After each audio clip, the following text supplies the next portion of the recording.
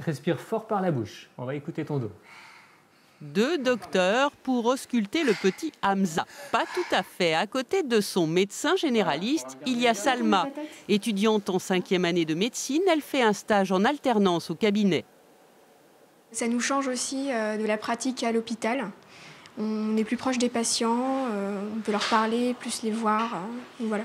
Et Salma n'est pas seule avec son maître de stage et ses patients. Ici, il y a six autres généralistes qui accueillent des étudiants. Il y a surtout d'autres professionnels de santé, dentistes, infirmières ou encore sages-femmes.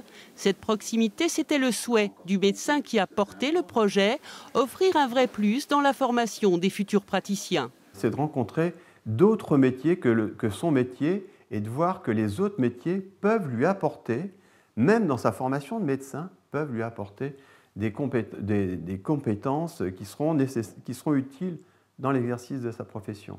Et surtout, penser que la médecine générale, eh ben, ce n'est pas simplement le médecin qui oriente euh, entre les différents spécialistes. Ce contact avec d'autres, c'est aussi ce qui a plu à cette jeune pédicure podologue qui vient de s'installer.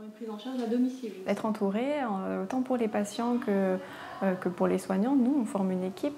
Donc euh, c'est très intéressant pour nous dans l'échange surtout, dans l'échange des pratiques.